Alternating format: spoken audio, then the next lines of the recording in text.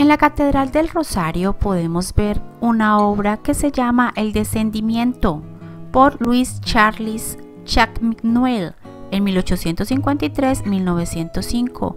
Fue creada por este artista y solo hay tres de estos vitrales en el mundo y en esta catedral hay uno de ellos y tiene un valor de 5 mil millones de pesos. Fue creado en Francia el vitral con cañuela de plomo pintado con grisalla, fileteado, media tinta, amarillo de plata y esmalte. 1878.